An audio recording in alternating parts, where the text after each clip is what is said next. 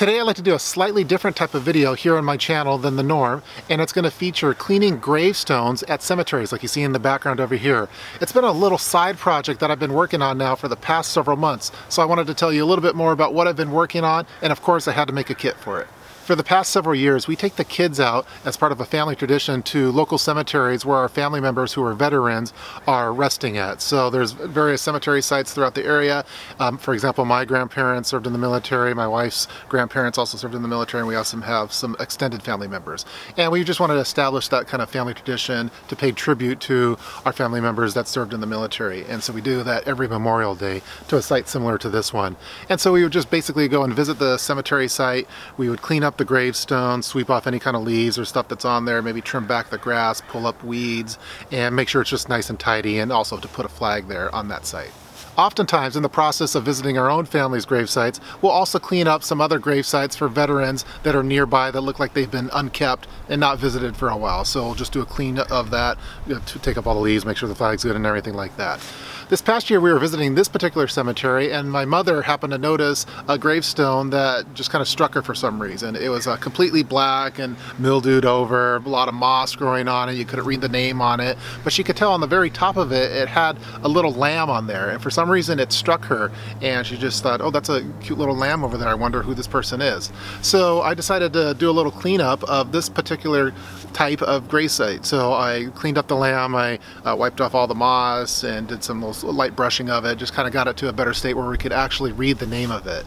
And what came to we came to find out is that these lambs represent oftentimes the majority of the times are children. So they could be anywhere from a few days old, a couple months old, a couple years old, but uh, for the most part they're kids under the years of 10. And what happened is that we just noticed that throughout the cemetery, there's all these hundred year old uh, grave sites of kids that have been long forgotten and they're completely blackened over and mossed over. And it kind of just struck me and I felt bad for it as a father myself, as a family man, and I have kids that are the age of some of these sites that I saw back here. I wanted to do something to try to help those ones and make them so they're not forgotten as well in the same light that you do with the military. For the past several months now, it's been my goal to clean all of the lamb gravestones that are here at this particular cemetery because they're just kids that have been forgotten for over a hundred years. And I thought it'd be a service to the parents of those kids to make sure that their gravesite is not forgotten, is clean. And the cool thing about these little lamb gravestones is that oftentimes they're a white marble or a limestone. And when you clean them up, they become bright white and they really stick out in the cemetery as a nice, clean, white uh, gravesite. And so I've been going throughout this particular cemetery and finding all the little lambs, cleaning them. And so what I want to do for this video is talk a little bit about my strategy for cleaning them. And of course I had to make a kit because that's what I like doing. So I'd talk about the items that are included in the kit.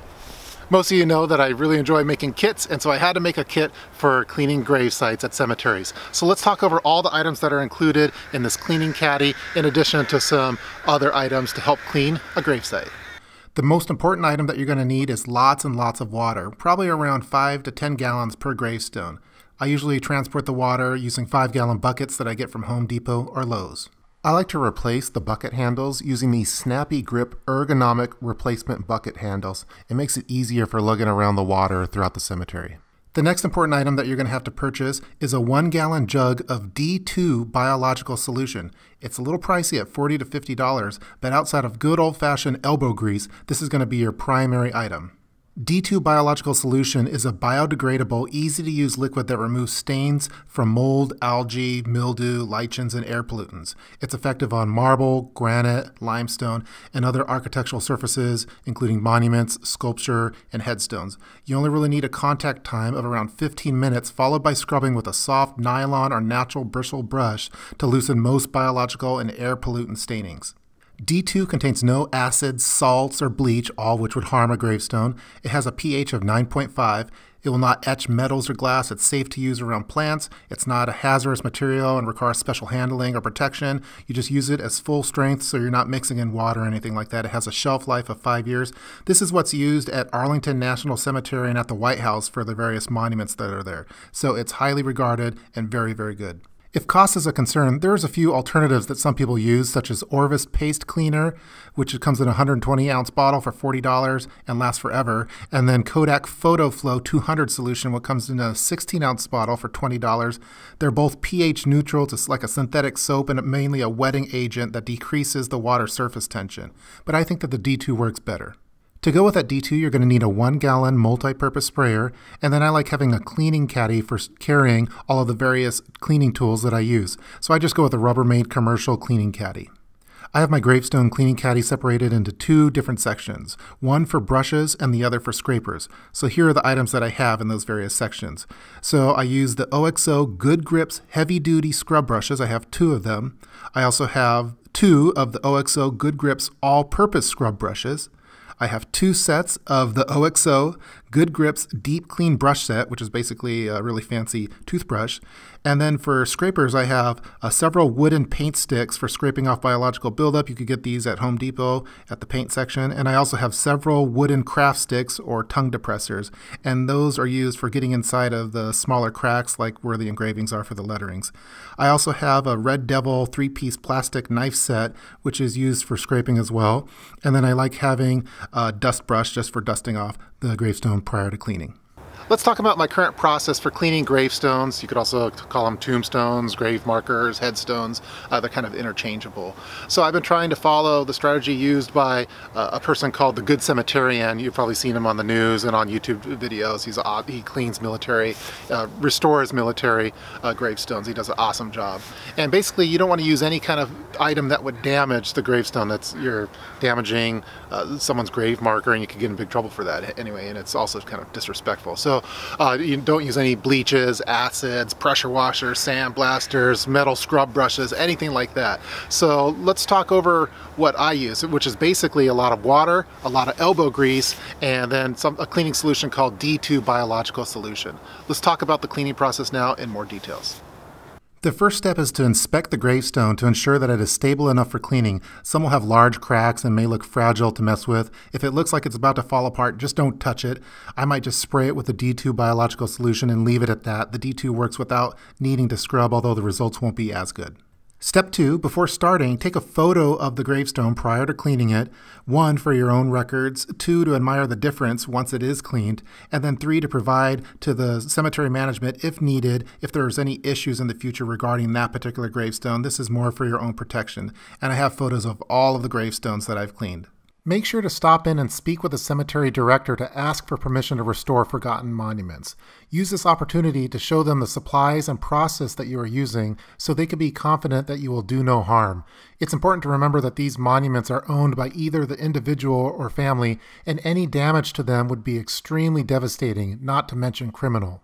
Step 3, if needed, brush off all of those leaves, twigs, spider webs, etc. from the stone using that dust brush. Step 4 Scrape off all the large pieces of moss and other biological growth using the wooden paint sticks or soft plastic scrapers. Again, do not use metal scrapers or anything that will damage the stone. Step 5 is completely drench the stone with water. Cemeteries often have outdoor water faucets available throughout the grounds that you could use. If not, you'll have to bring in your own water from home using large water jugs or buckets. Next, you want to spray the entire stone down with D2 biological solution and let it sit for around 15 minutes. Spraying on wet surfaces will help better distribute the solution throughout the stone. Uh, try to spray from the top to the bottom of the stone to avoid streaking. I normally try to repeat these first few steps to clean three to four stones at a time that are in close proximity from each other. That way, when I finish one, I can move on to the next one, which is hopefully soaked in the D2 biological solution for a long enough period of time. After the D2 is set for 15 minutes, scrub the entire stone with a wet, heavy duty scrub brush, either natural or synthetic bristles. You should see a bunch of suds form from the D2 as you do this. Rinse the brush as you go, which will help wash away a lot of the initial grime from the stone as you go. I usually do long swipes with this particular brush. Next, rinse the stone with water to clear off the majority of the initial dirt and grime. This will show you if you've missed any spots. Next, use the all-purpose scrub brush to further scrub the stone. Again, I dip these brushes in water prior to using them to help with the surface tension. I do small circular motions with these particular brushes, which have a nice, comfortable handle. I try to focus mainly on the engravings and the letterings. Now I like to use the deep clean brushes, again they look like heavy duty toothbrushes, to deep clean the letterings and fine details of the engravings. Again, I find that it works better to use them when they're wet and to keep them clean as you go by dipping them into the bucket of water. Now, do a final rinsing of the stone to completely wash away all of the dirt, grime, and biological buildup. At this point, I like to respray the entire stone again with D2, again trying to go from bottom to top and let it sit for several days. After a few weeks or so, I like to re-inspect the stone and possibly respray it again if it looks like it still has a little bit of biological buildup on it. You have to be really patient with D2. It's not going to work like bleach that just kills everything instantly. Again, bleach is incredibly bad for gravestones, so don't use it. But again, just be patient with the D2. It will work over time. Because gravestones are made of a porous material, it takes D2 a fair amount of time to get into all those little microscopic nooks and crannies, holes and cracks to safely remove all of the biological buildup from it. So again, you have to be very patient with it, but eventually it'll clear it all out. After a few months, the D2 will have worked completely and the stone will be very clean. The lamb gravestones that I've been cleaning, which are made of limestone or marble, oftentimes turn bright white, which is what they look like when they were brand new. At this point, I take another photo, again for the same reasons that I did in the beginning. It's really cool to see how the stone looked before and after. It's a great feeling to see a gravestone come back to life and be visible again to visitors who probably ignored it for decades because it wasn't noticeable or readable due to the buildup of dirt, grime, and moss. On a side note, I find it very relaxing to clean gravestones. I prefer to do it in the morning before any other visitors are at the cemetery. It's just me and all of the people that are buried at that cemetery. I work in a fast paced, high tech industry for my day job in software engineering, and cleaning gravestones has kind of become my yoga, where I could relax in silence and think about the person who is at rest at that site that I am cleaning. It's a very fulfilling and reflective process for me. And that's how I clean a gravestone. So as of right now, I've cleaned a total of 84 of these little lamb grave sites here at this particular cemetery. I probably have less than 20 remaining before all of them have been restored to a good state where all the moss has been removed and most of them are bright white and now sticking out when probably for decades and decades they were black and long forgotten. It's just kind of been a really cool feeling to do this at this particular cemetery and you feel like you're doing some good for your community. So I thought this might be a fun video for you guys to watch to little, learn a little bit more about the process and maybe even consider doing something like this at your local cemeteries just to make sure that grave sites are taken care of and not forgotten. So after I finished all of the lambs at this one, I'll probably move back to doing the military sites uh, because there's a lot of those as well and I want to make sure that those aren't forgotten as well. There's a lot of videos here on YouTube to show how to do it. Most people like using the D2 biological solution which I've tested and it works really well. So I hope you guys enjoyed watching this video and please feel free to leave any kind of comments below in the comment section, and I'll see you guys next time. Take care.